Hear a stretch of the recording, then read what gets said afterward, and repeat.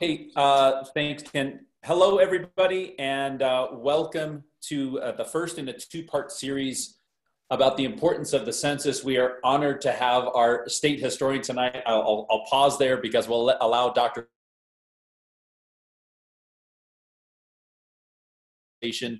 Um, I'm super excited about uh, what we're about to hear tonight. Um, and, and let me just shameless pitch. Um, this is part of a, uh, an ongoing community dialogue that we've had uh, as a college for, for a few months now about the importance of the census and what it will do in terms of support for first responders, education, tribal communities, um, uh, uh, hospitals and uh, medical care, and so much more. Um, and uh, but there are a lot of things that we probably we don't aren't aware of, but that the census is really important for. Uh, we're racing against the clock because we have until the end of September, so every day matters. Um, and that's why we're, we're very grateful to have this conversation. I do want to say a special thank you to Dr. Trujillo. Um, she has um, uh, been a, a, huge advocate for this, uh, for this mission and, um, and our college's strongest voice on this issue. And so um, with that, it's my honor to introduce her, Dr. Trujillo. Thank you so much, Rick. Um, I'd really like to welcome everybody to Northern New Mexico College's Hispanic Heritage Month kickoff and one of our Census 2020 events. Um, as Dr. Bailey said, my name is Dr. Patricia Trujillo and I am the Director of the Office of Equity and Diversity and I will be your moderator for this evening. And if you're wondering why the heck we're connecting the Census and Hispanic Heritage Month, it is really interesting that we're connecting these endeavors because the term Hispanic has been the source of several debates in the United States about who uses it, who doesn't, if we should even use it. Um, there's often a critique that, uh, from, that stems from the Eurocentric perspective it imposes on a large and diverse community, a, a constituency of peoples. In the United States, the term originally referred to, uh, the term Hispanic um, originally referred to the Hispanos of New Mexico until the US government used it in the 1970 census to refer to, quote, a person of Mexican, Puerto Rican, Cuban, South or Central American, or Spanish culture or origin, regardless of race, end quote. So that's a really big umbrella group of people. And also during that time, as the term Hispanic started to become popularized, the Office of Management and Budget didn't accept the recommendation to retain the single term Hispanic. Instead, the OMB decided that the term should be Hispanic or Latino because regional usage of the terms differed. So Hispanic is commonly, commonly used in the eastern portion of the United States, whereas Latino was commonly used in the western portion of the United States. And so since the 2000 census, the 2000 census, pardon me, the identifier has changed from Hispanic to Hispanic slash, um, to Spanish slash Hispanic slash Latino. And of the, as of the 2020 census, there's even more specificity for Hispanic, Latino, or Spanish origin people. So now we get to choose uh, or check a box, right? Mexican, Mexican American, Chicano, are we Puerto Rican, Cuban, Hispanic, Latino, or Spanish origin, um, originating from a nation state such as Salvadoran, Dominican, Colombian, Guatemalan, Spaniard, Ecuadorian, etc. So these additions acknowledge the distinction between Hispanic and Latino people who are US ethnic born minorities and those who are born in their nation of origin and immigrate to the United States under a variety of circumstances. So a way to think of this is in the framework articulated by cultural geographer Daniel, Daniel Arreola, who defines Latino space and therefore identity as continuous, discontinuous, and emerging. But that is to say, to be the United States for over 400 years.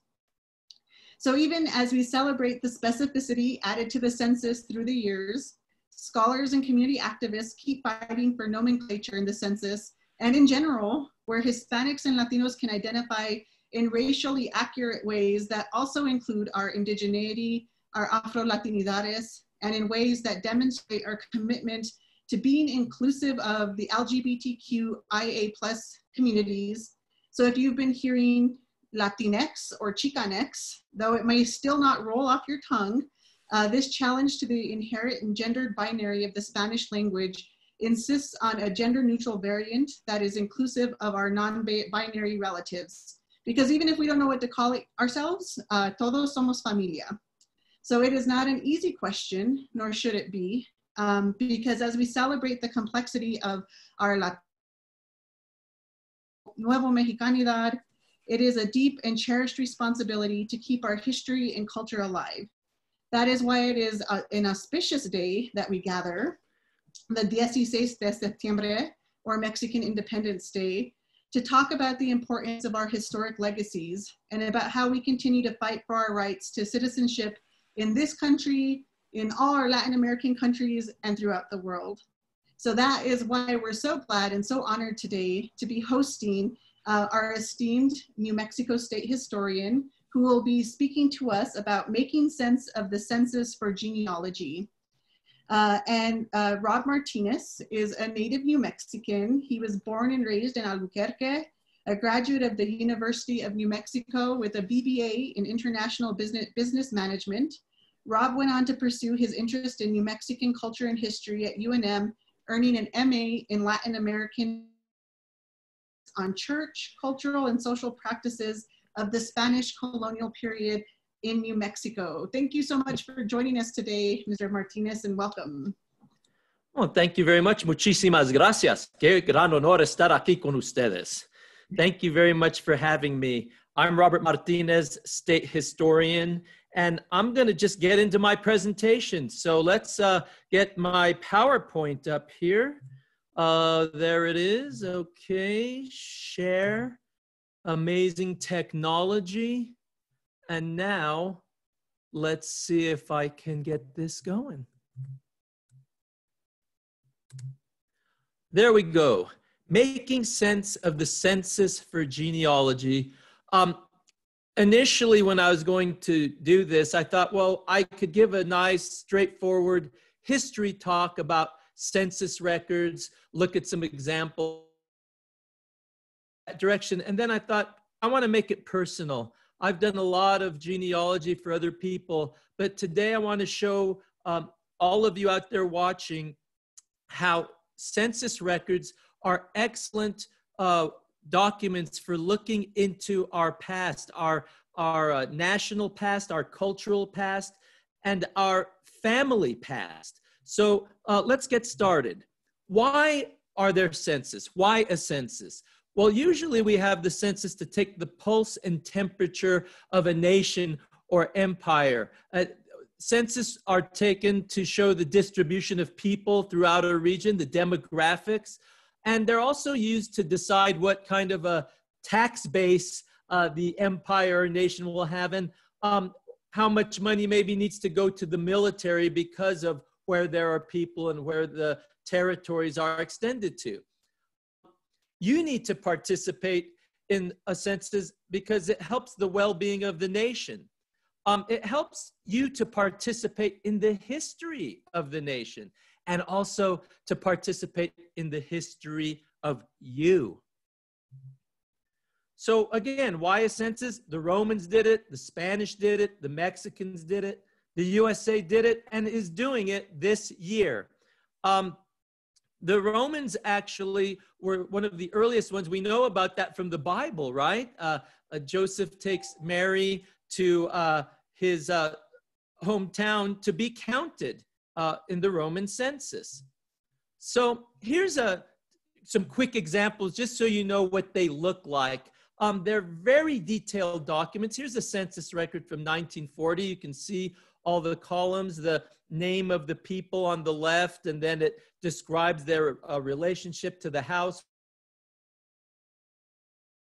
Gives all kinds of interesting information, their gender, um, what their uh, race was. Uh, typically, you'll see uh, that tends to vary. Uh, in US uh, census records, it tended to be white, black, or mulatto. That's it. That was all they had for, to be listed. So you'll see that they had to kind of mess with that a little.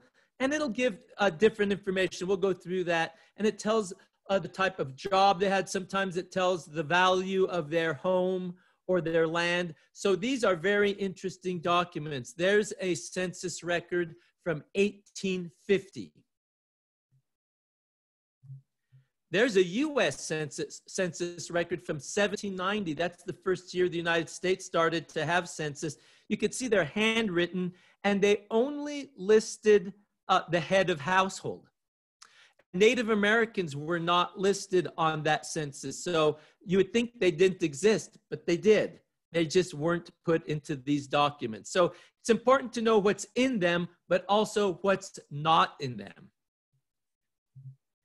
This is a carving of, of a census being taken in Roman times. I, th- I love this image. Uh, it shows just the men in line. They're being counted, they're being ri- uh, written down. And in Roman times, uh, you had to go uh, to have uh, yourself be counted every five years, and you had to go to your hometown. If you did not participate, uh, you could have your goods confiscated. Can you imagine that? Um, and then you'd let you'd go and give your name, and then you'd say uh, that you had a wife, you'd had some children, and some slaves. Um, probably you didn't get the name of those people, and uh, if you want uh, slave free, you just had to name them and enter them in the census. So that's how they did it in Roman times. Now we're going to get personal. I want to talk about my family because um, I'm going to show how I did my genealogy using all kinds of records and information, but using census records. This is the Martinez family around 1981. There's my parents on the bottom and my two sisters uh, Debbie and Maxine. And that's me up on top on the left. And that guy sleeping is my brother Lorenzo. And there's my sister Doris. Um, let's go back in time. There we are in 1970. That droopy guy in the bottom is me. I'm about six years old there. There's my sister Doris on the bottom. And then my parents, my father Roberto, my mom Ramona. And then my sisters uh, Maxine and Debbie and my brother Lorenzo up on top. Um, here's more family pictures uh, because the faces as much as I can because we're going to get to the census records and you'll be seeing these folks. I love this photo. This is Mora, Agua Negra, New Mexico in 1951. There are four generations of my family in this photo. That's my father, Roberto, holding my sister, Maxine. This is probably her baptism. Um, she's an infant. Uh, so there's Maxine and my father, Roberto. And then in front of my dad, Sitting down are his parents, Maximiano Martinez and Rosa Lovato. Behind them is Rosa's father, Encarnacion Lovato. And then that's my mom, Ramona Salazar, standing next to him. So four generations right there. There's my mom and dad in 1951, the year they were married. And by the way, um, we're going to look at census records. Uh, we can only look at 1940 back uh, of Pretty soon we'll be able to look at 1950. They wait a few look because of uh, personal and private information in census records. Audio and the. So Oops, I'm sorry. Can everybody turn their mute on? All right. And this is my father, Roberto Martinez. Um, he uh, joined the Air Force around 1948. So this is him in the Air Force in 1949. And there's his parents in the late 70s, Maximiano Martinez and Rosa Lovato, um, his parents and my grandparents. So here's a marriage in Mora, 1925. Uh, number six is that couple, Maximiano Martinez and Rosita Lovato. Um, it shows his parents, Eliseo Martinez and Genaria Romero. And then if you move to the right, it shows her parents, Encarnacion Lovato. We just saw him. Lovato, she was Salazar. And then the um, padrinos are um, Jose Gandert and Domilia Gandert. And there's their wedding photo, Mora, New Mexico, 1925. The padrinos are the Ganderts, and there's my Grandpa Maximiano and my grandma Rosa Lovato. This is important. This is Maximiano's father, Eliseo Martin. Uh, there's a reason I have that name. You'll see later on in the presentation, but that's Eliseo Martin uh, Maximiano's father. Um, real quick, when I first started doing genealogy when I was about 15, uh, two things happened. I went to the genealogy library in Albuquerque. I put uh, um, some microfilm up and I tried to read some old documents and I couldn't read them. The handwriting was too difficult. So I promptly gave up looking at those documents. And then my grandpa Maximiano, who was alive at the time, around 1978, he got mad. Uh, he got mad because he heard I was looking into the family history. And he said, ¿Qué está buscando? What's he looking for? Well, the story goes that this guy, Eliseo Martin, was born out of wedlock.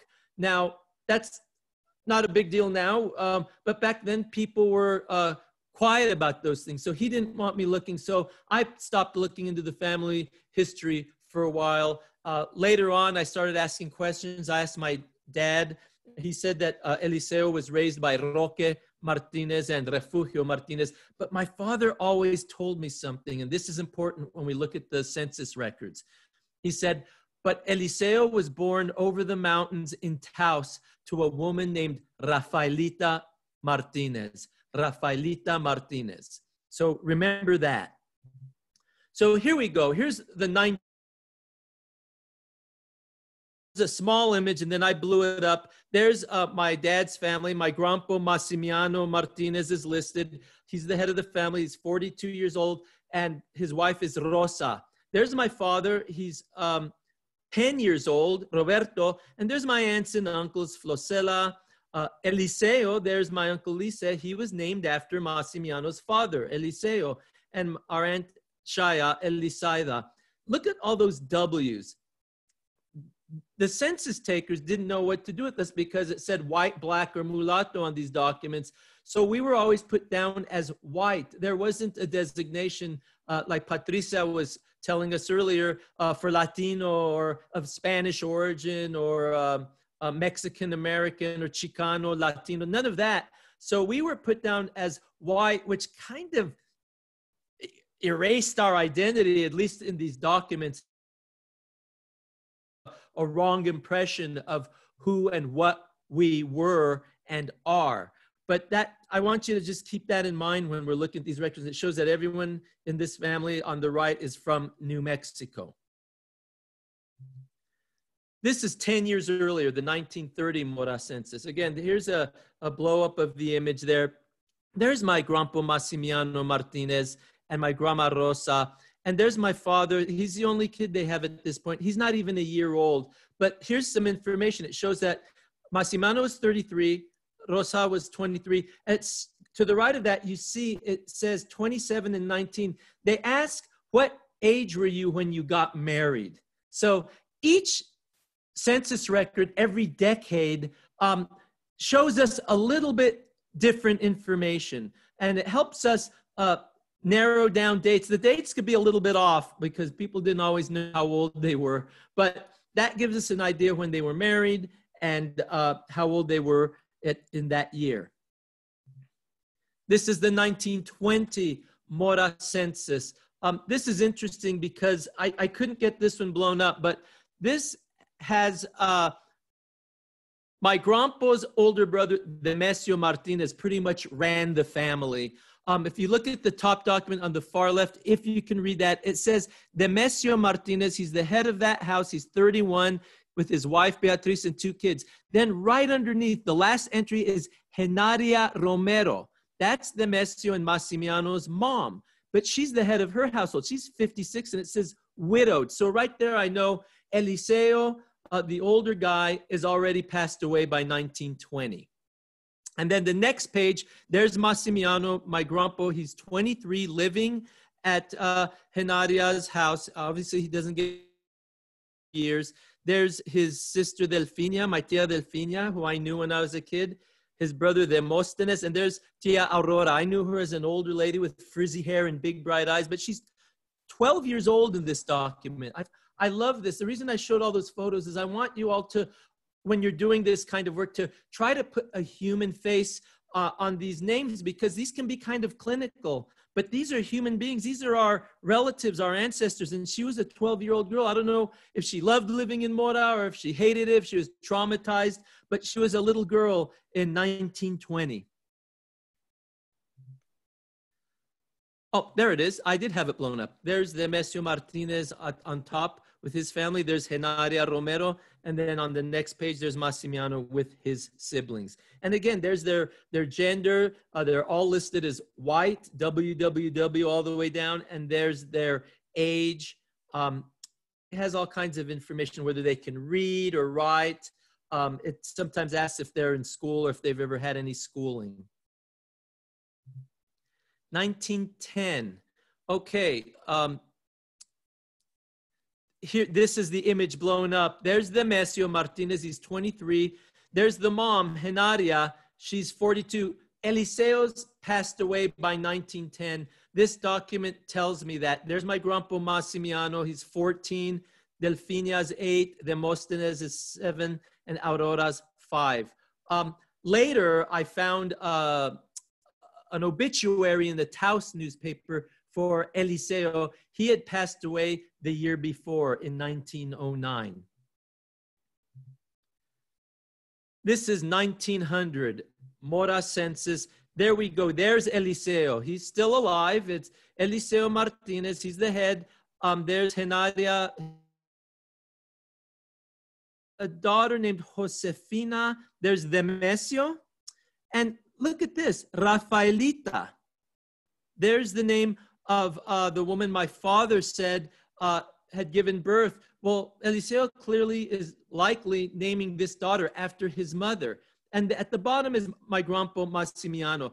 What's great about this document, which was very helpful, if you look where it says after they're, they're white and it lists uh, their uh, gender, it gives generally a, detailed uh, birth date for them. So for Eliseo, it says February 1859. So he's 41. Um, Genaria, April 1866. I've done her genealogy. She's from Peñasco and on down. And on the right, you see 15 uh, next to Eliseo and Genaria. That means they were uh, married 15 years in 1900. That helped because then I could go back to Mora and look. Sure enough, it said Eliseo Martinez, hijo adoptivo de Roque Martinez y Refugio Martinez. He was a adopted uh, child. Now they didn't go through adopted adoption agencies or anything back then. Very typical in northern New Mexico for a family to give a baby to another family to raise. It might sound kind of strange. Well, we do things like that nowadays, just for different reasons. But um, th- they would give the baby. So I started piecing this all together.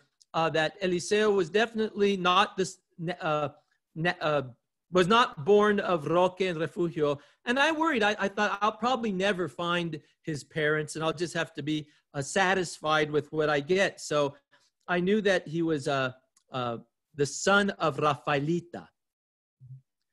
Um, 1880. Well, where's 1890? Well, things happened to his. That's what census records are. And the story is that the 1890 census uh, were lost to fire, damage, something like that. So we do not have uh, 1890 census records for New Mexico. But this is an 1880 Mora census record. And there you go. There's Refugio Martinez. Um, she's 54, and living with her is uh, listed as a son, Eliseo, 22 years old. He's a laborer. Um, the, the kind of work they do changes. My grandpa is listed as a laborer, I think in 1940, and then in 1930 as a freight worker, and then in 1920 as a farmer. So that was the Depression era. So they were doing a lot of different kinds of work. Um, so there's Eliseo, 22 years old, 1880 in Mora. Five years later, later he will marry uh, Genaria Romero. Now here's 1870. Shows us uh, Eliseo listed as nine. They weren't sure how old he was, but he's listed living with Roque Martin and Refugio, Refugio Martin. I, I, want you to pay attention to that because that just shows how the, the Martinez name uh, ebbs and flows and moves back and forth. Um, you'll see us as Martin Martinez. And in this 1870 record, the family name is Martin. So check this out. I was doing work a couple years ago for someone else researching their family in Taos. And I'm going down the baptismal records, and this catches my eye. Look at the margin on the left hand side Eliseo Martin. So I looked at the date, March 17 of 1859. That caught my attention because my guy said he was born around February of 1859. This baptismal record is the following month. So I look in this record, it says that uh, he was baptized at Taos, um, four days old. The name he's given is Eliseo, and he's listed as the hijo natural. That means I'm born out of wedlock of Rafaela Martin. That's my guy. Rafaela Martin has a son in 1859 out of wedlock named uh, in 1859. And it says Residente del Ranchito de la Inmaculada Concepcion. I thought that was ironic from the town of the Immaculate Conception. So this is my great grandfather's baptismal record. Well, I called my good friend uh, Patricia Sanchez Rao, and we I told her I was excited, and I said maybe we could find out more. So we started looking uh, at uh, records in Taos in the 1850s to see if we could find out more about Rafaela. Well, sure enough, a baby named Maria Andrea. Uh, she's another natural child of Rafaela uh, Martinez. So she's called Martinez in this document. What's great about this document is it lists her parents, her the, the abuelos, the grandparents. It lists Rafaela's grandparents, Juan Martinez and Maria Dolores Garcia. It's right there. And uh, from the same town, uh, La uh, Pura y Limpia Concepcion. Um, so there's a daughter, Maria Andrea. Next, look at this. Uh, March of 1856, there's a baby, Elfego de Jesus Martin uh, Martinez, uh, baptized, hijo natural de Maria Rafaela Martinez. She's, uh, again, a vecina of the same plaza. So here we go. It's the 1850s, and my uh, great great grandma uh, Rafaela Martin Martinez is uh, having babies out of wedlock. I'd love to know her story. Um, we don't know who the father or fathers were, but uh, clearly um, uh, she was living life, living her life. But I still wanted to know more, so we kept digging. Um, so I, I, looked at the 1860 town census, census to see if I could find anything about her. And it's interesting. If you look at this record, on the top at the bottom of the page, it says Rafaela Martinez, there she is. And then it lists kids with the last name Sanchez, Eugenio. Uh, next page, Jose Sanchez, Jose Maria Sanchez. But look, there's Andrea Sanchez, El Elfego Sanchez, Elisa, that's Eliseo, but he's listed as a little girl. They made a mistake. I would never have found him if not for the census and for these churches. So there is another clue, but why the Sanchez name? We know that the, the, the bottom three kids, we don't know who the dad is, but she, Rafaela, sticks that name on them for the 1860 census. Well, look at this 1850 census. Clearly, in 1850, she had not had those out of wedlock children yet. But there she is, Maria Rafaela Martin, with some of her kids. Uh, Jose Eugenio, there's another one, Emiliana, uh, Maria Cristina, Jose de Jesus, and Jose Maria. They all have that Sanchez name. Um, interesting, I have a purple mark there because if you look, it says where they're from. Well, all these kids are born in Taos County, but she is from Rio Arriba County. And we'll see that that makes sense uh, later when I do her genealogy.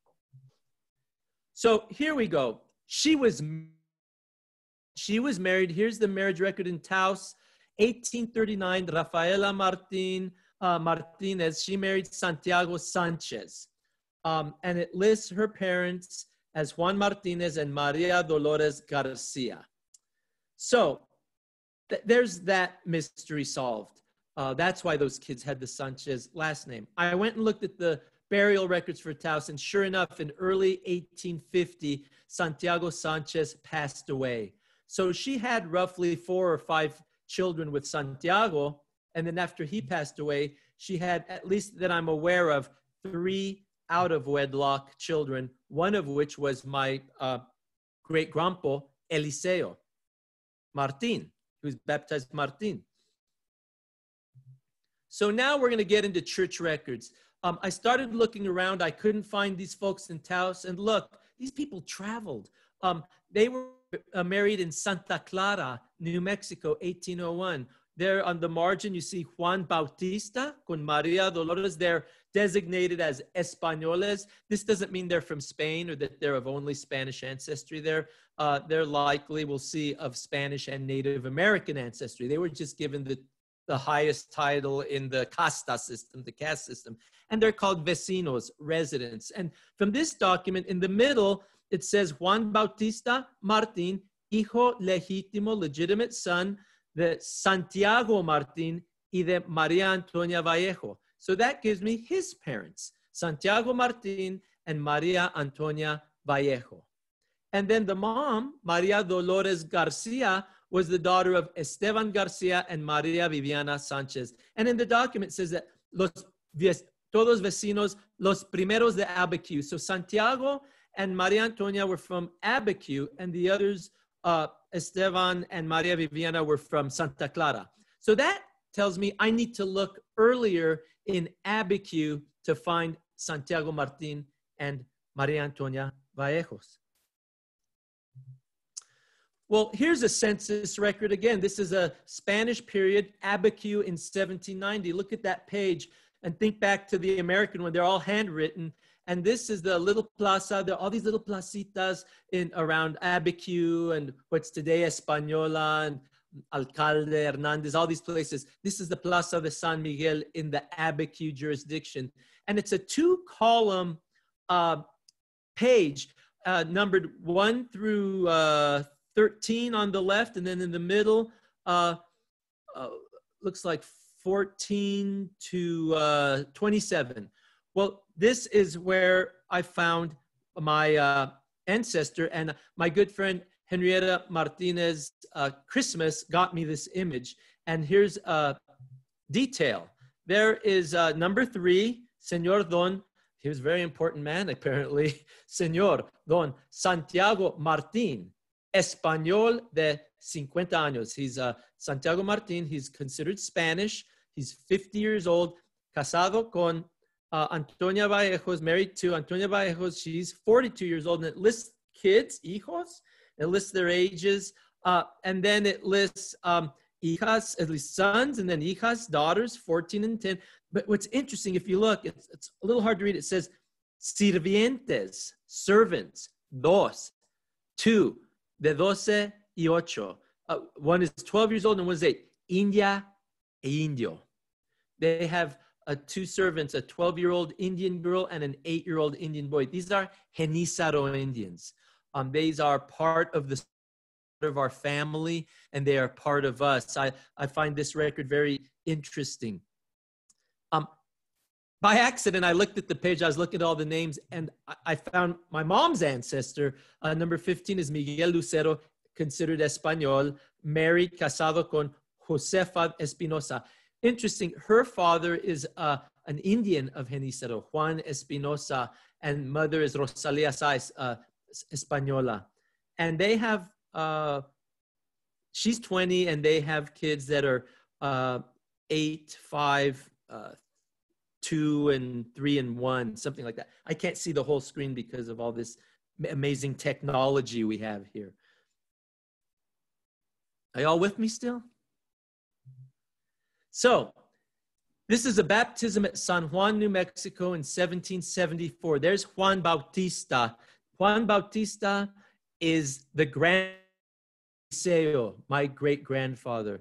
This is his baptismal record in Rio Arriba, and it shows him. It says Juan Bautista, Bautista with the V because there's no standardized spelling back there. It even says Bautice, Bautice, I baptized. And he's the hijo legítimo, legitimate son of Santiago Martin. y de Antonia Vallejos. So there's that family right there. So from here, I started looking around for marriage record for Santiago Martin and Antonia Vallejos. I couldn't find them anywhere in the north. When you can't find them in the obvious place, you start stretching out, spreading out until you bump into them. Well, um, the parents of Maria Dolores Garcia, I found, look at this, in Isleta, south of Albuquerque in 1778. It's a beautiful hand. Uh, it says on the side, Esteban Garcia con vecinos, parroquianos, they're, they're uh, parishioners and residents. Um, in the record, it says that his name was uh, Esteban Garcia Noriega, probably belonged to the Garcia Noriega family of Albuquerque. Uh, Luis uh, Garcia de Noriega was the main guy in Albuquerque in the mid 1700s. So maybe he belongs to that family. And Viviana Sanchez. I don't know for sure who their parents are, but that will take more research. And look at that. There's the marriage in Albuquerque in 1756. Santiago Martin con Antonia Vallejo. So this gets us back to the 1750s. From Mora in 1940. Uh, we're in Albuquerque in 1756. So, what family does Santiago belong to? Um, New Mexico State Library was very helpful in helping me get this image of a will from the Spanish archives of New Mexico. This is the will of Pedro Martin Serrano. This is from 1768. Look at that beautiful uh, paper and ink, uh, calligraphy, handwriting. Um, let's get a close up. Um, this shows on the right uh, the, the opening uh, page. Um, it just says, it's a formula in the name of uh, God all powerful, uh, amen and it says that I, Pedro Martin Serrano, am a resident of this uh, Puesta de San Antonio del Corral de Piedra, and that he is the hijo legítimo, the legitimate son of Blas Martin Serrano y Maria de Vargas, ya difunta. She's deceased, is what ya difunta means. So here we go. We're back another generation. Um, this Pedro, he's uh, 1768. He's probably born around 1700 or 1710. And his father is Blas Martin Serrano. It's interesting. He says that he um, had an accident. Um, he's sick and uh, he gives himself to God. He actually asked to be buried in, in the church of Santa Clara in the door underneath the doorway. That, that's fascinating. But look at this over here on the left. I love this uh, part of the will. Uh, bear with me. It says, declaro haber sido casado. I declare that I was married con Doña Margarita de Luna, with Doña Margarita de Luna, viuda. She's a, she was the widow of Esteban Duran. So she was married before. But then he says, según el orden de nuestra Santa Madre Iglesia, according to the order of our Holy Mother Church, de cuyo matrimonio tuvimos y procreamos, from which marriage had and procreated quince hijos, 15 children. And they're listed here. The first is Gregorio. Look at the second, Santiago. This is our guy, Santiago. It goes on, lists Gertrudes, Diego, Domingo, Pedro, Isabel's difunta, Ted, Juan, Felipe, Maria Rosa de los Reyes, uh, she's difunta, dead, pobrecita. Maria Josefa, difunta, Juana, difunta, Francisca, Maria Rosa, Josef, María Ventura. And then at the end he says, los, de, los que declaro por mis legítimos hijos y herederos, who I declare for my uh, legitimate children and heirs. Pretty cool, huh? So here we go. From Blas Martin Serrano, Pedro's father, um, we know that he was the son of Domingo Martin Serrano and Josefa de Herrera. Domingo was the son of Luis Martin Serrano. This is all in the 1600s now. And Luis was the son of Hernan Martin Serrano II and a local Indian woman. So he was mestizo, Luis. And uh, Hernan II, he was the guy who came with Juan de Oñate in 1598. He was the sargento of the expedition. He was from Zacatecas, Mexico, and he was the son of Hernan Martin Serrano the first and an unknown mother. We don't know much about that first Hernan Martin Serrano. Um, he may have been from Spain. He may have been born in the Valley of Mexico in the 1830s. And who uh, Hernan II's mom was, she might have been a, a, Spanish woman. She might have been a mestiza, half Spanish, half Indian woman. She might have been a, an Indian woman. We don't know. We may never know. But this uh, is 12 generations put together with census records, church records, and civil documents. So to bring a in 1966 in Albuquerque. I'm the little guy, and that's my dad. Look at that, all these generations of Martin Serrano, Martin Martinez, uh, Spanish ancestors, um, Native American ancestors, Mexican ancestors. And there we are in 1994. That's me and my father Roberto playing mus- música with his group Los Reyes Alburquerque. There we are in our blue trajes. So that's it, folks. The 2020 census is here. Be counted. Your descendants are counting on you. Thank you. Mm. We'll add some clapping there, but if anybody has any uh, questions or comments, uh, now would be the time. You can just unmute yourself or you can ask a question in the chat box and I I just wanted to make a quick comment. This is um, Stephanie. I am the staff reporter here at the college. Um, thank you very much for your presentation. It was very informative. I recently um, did explore some of my own ancestry and figured out that I am a daughter of the American Revolution um, based on what I found from my ancestry and a lot of people with census records. And a lot of people don't know that many New Mexicans have a connection to the Revolutionary War because of the Presidio, which was the Spanish um, the Spanish army that actually provided some key funding to the Revolutionary Army that was decisive in winning the war. So you might have some unexpected things in your history. And I was wondering if you had come across anything unexpected like that when you're doing your genealogical research. Well, yeah, that's the thing about doing gene.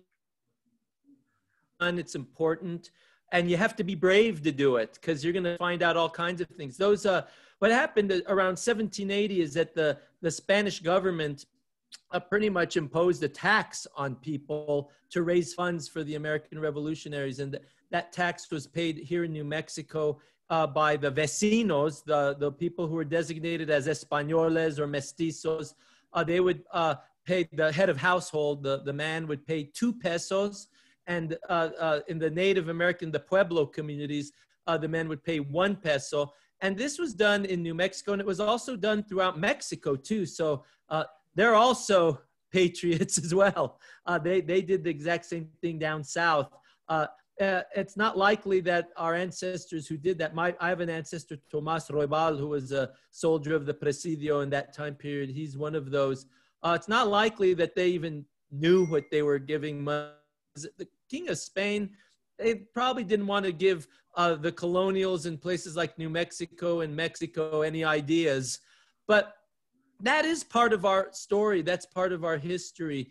And, you know, um, I'm trying to think of uh, one of the most uh, surprising things. I think what I find most surprising, uh, what I have found in my genealogy, on my mom's side, what I found fascinating, fascinating is my mom has a Lucero line that I've traced back from um, uh, Sapello, New Mexico, down through San Miguel del Vado. And as I did the research about five or six generations back, um, it got to uh, uh, a guy named um, Juan Lucero, who had married a, a, young lady by the name of Estefania Martin. So this Martin family is everywhere. Everyone has them in their family. I mean, we have a lot of common ancestors: the Montoyas, the Chavez, the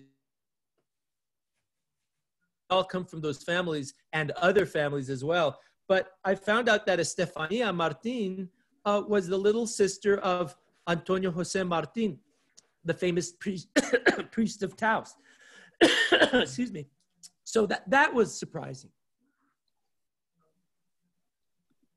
Thank you.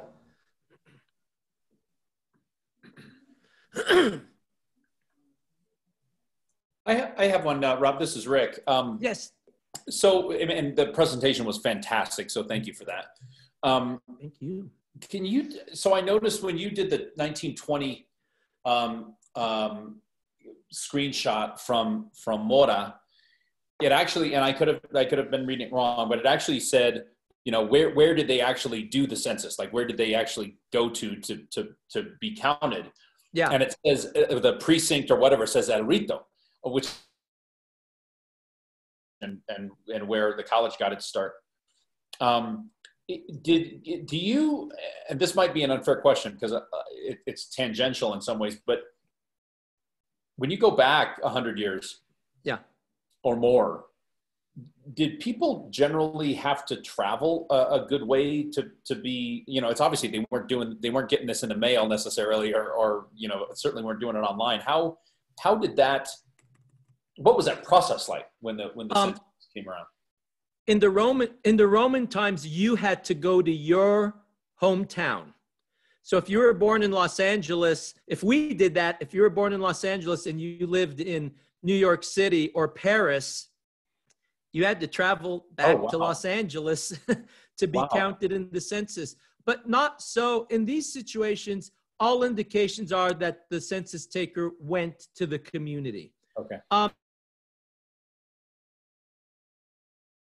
names throughout New Mexico. There's a lot of San Antonios. Right. El Rito was uh, what we now call Chacon in the Mora Valley.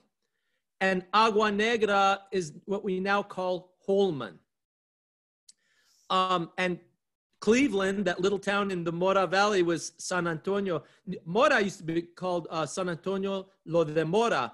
Um, these names changed in the 1880s or so when the railroad started to go through and the and or the um, post office started to establish uh, them uh, post offices everywhere. They usually grabbed the local postmaster, and a lot of times they had an Anglo name or a European, Northern European name, and they would change it to that person's name.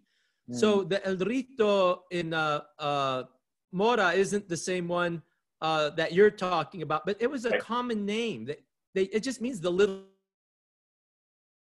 just little plazas. People would establish themselves in the placitas. But another, you made me think of something else, and I don't know if I can. I, I'm I'm I'm looking for it. Uh, I don't know if I'll find it, but you know, one of the more sad things you see on these uh, records um, this one right here from 1910 if you look at Genaria that's my great grandmother you go all the way to the right you see a seven and a four? A lot of times they would ask how many children have you given birth to and how many are living? Mm-hmm. And it's uh you see it you and- and tip i mean eh, rarely you'll see four and four. Typically it'll be 10 6 mm-hmm. 12 8 nine, four. It, it was very common uh, for uh, children to uh, pass away early, or if, or if an well, uh, a pa- or a, a spe- uh, smallpox or something would come through. Um, so you see this as a, a very common indicator, but it also shows you like uh, um, where the names come from. I also forgot to mention that it's interesting. Um, Eliseo named his daughter Rafaelita. Rafaela is his mom's name. And you see the names get passed down from generation to generation. Oh, that's fantastic. Thank you. We have time for one more question if anybody wants to take advantage of that.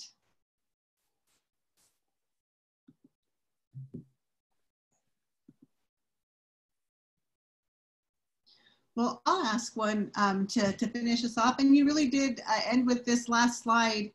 Uh, but we are really trying to generate interest in people getting involved in the census. Unfortunately, only about uh, 30% of households in Rio Arriba County have filled out their census for 2020. Uh, what would, how can you help us appeal to our audience uh, to get them interested in filling out the census? Well, all I can say is that participating in the census is like participating in voting. It's part of what we need to do. We need to participate in our government. We need to participate in our community. Um, it's not just for the government in Washington, D.C. that we do this. We do it for our local government, for our state. We get funding uh, the more people we have. And if we're not counting certain people, then we're going to get less money. Um, it's also helpful for communities, uh, places like Mora, places like Tierra Amarilla, Chama, Costilla. These are little pueblitos, little towns, and the pueblos too. You know, Ohkay Owingeh, uh, Santa Clara, all these uh, communities up there. We want them to uh, not just survive, we want them to thrive and uh, have uh, beautiful places uh, for the people who are living there and for their children and grandchildren. So it's really crucial for people to participate in the census. It's easy. I did it online. If you can't get it online, I bet you can have a form mailed to you, or is there somewhere where they can pick one up? Because um, they don't need to go anywhere. They just need to fill it out or go online. I, I did it online and I got counted. So yeah, uh, actually, uh, after we give you a virtual round of applause, uh, thank you so much for visiting us here at Northern New Mexico College. Thank you. Uh, Rob, but we're gonna um, actually play everybody out uh, with a PSA that was just created featuring uh, students from across Northern New Mexico. Because one of the things about Northern New Mexico is we're counted and hardest to count areas.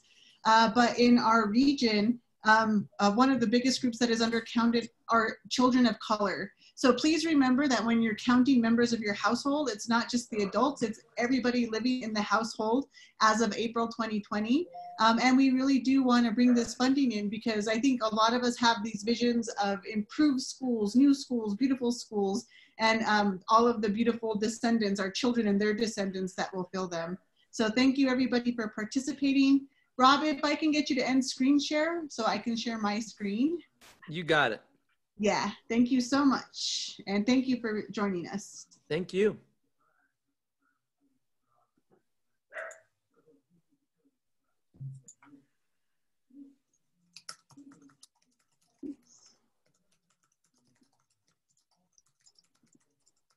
And I had it set up.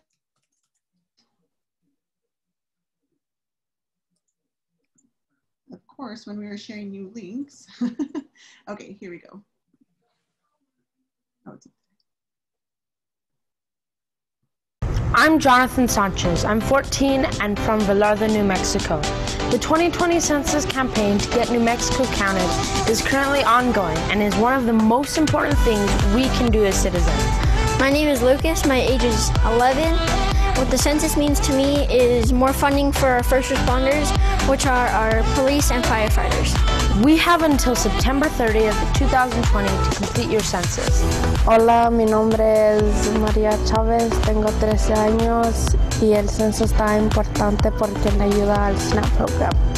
Hi, my name is Max. I'm 14, and it's important to take the census because it provides grants for substance abuse programs. To complete your 2020 census, respond and mail back the census packet mailed to your household, or go to 2020census.gov or call 844-330-2020. Hi, I'm Kunchi. Count me. Hola, mi nombre es Sofía. My name is Lita. I am Landon. My name is Des. Count me. Cuéntame. Count me. Count me. Cuéntame. Count me. Count me. Count me. Count me. Mi nombre es Diana. En su nombre es Miguel. Cuéntanos.